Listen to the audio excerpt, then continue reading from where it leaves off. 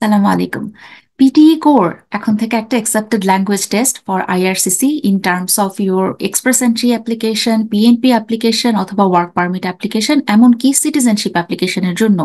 শুধুমাত্র স্টাডি পারমিটে এখনও পর্যন্ত আইএলস এর একাডেমিক লাগছে, যদি এসডিএস স্ট্রিম না হই বাকি সমস্ত জায়গায় যেখানে যেখানে আমরা আইএলস এর জেনারেল ট্রেনিং দিতে হতো, সেখানে সেখানে এখন থেকে সেলপি আইএলস জেনারেল ট্রেনিং এর পাশাপাশি পিটিই কোর্সটাও এখন থেকে অ্যাকসেপ্টেড হবে।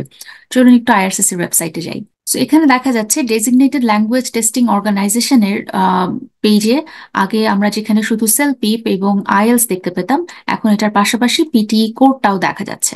আমরা যখন যদি একটু কনভার্সন টেবিলটা দেখি, যে কত স্কোর পিটিএ তে কোন স্কোর মানে সিএলবির কোন লেভেল তাহলে আমাদের জন্য বুঝতে আর একটু সুবিধা হবে যে কোন স্কোর পেলে আমরা এক্সপ্রেসেন্টের জন্য এলিজিবল হব, কোন স্কোর মানে এটা সিএলবি নাইন এর লেভেলে হবে। সো এখানে দেখা যাচ্ছে সিএলবি সেভেন যেটা কিনা আমাদের এক্সপ্রেসেন্ট্রিতে এলিজিবিলিটি জন্য দরকার।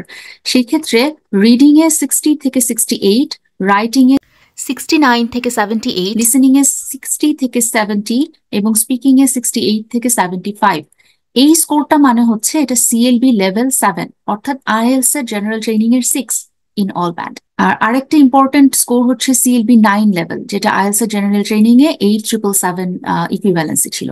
সো পিটির ক্ষেত্রে পিটি কোরের ক্ষেত্রে সিএলবি নাইন মানে রিডিং এ সেভেন্টি এইট থেকে এইটি সেভেন রাইটিং এ এইটি এইট থেকে এইটি নাইন লিসেনিং এ এইটি টু থেকে এইটি এইট এবং স্পিকিং এ এইটি ফোর থেকে এইটি এইট সো যারা যারা ইন্টারেস্টেড আছেন পিটি এর জন্য প্রিপারেশন নিয়েছেন বা পিটি কে কম্পারেটিভলি একটু ইজিয়ার এক্সাম বলে মনে করছেন, তাদের আশা করি এই আলোচনাটুকু বা ইনফরমেশনটুকু কাজে লাগবে।